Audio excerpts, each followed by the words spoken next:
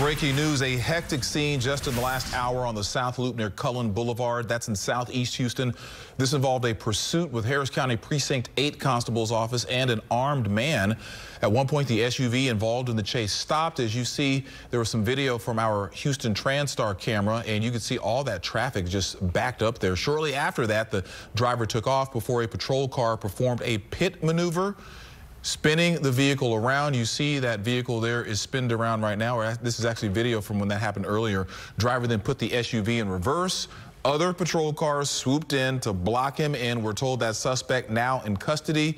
We're working to get more details on why the man was being pursued by law enforcement. And now we want to give you a live look at that same area where the scene is still covered with officers. Traffic now flowing at least a little bit most of those lanes, currently through one lane getting through. Quite a hectic scene there.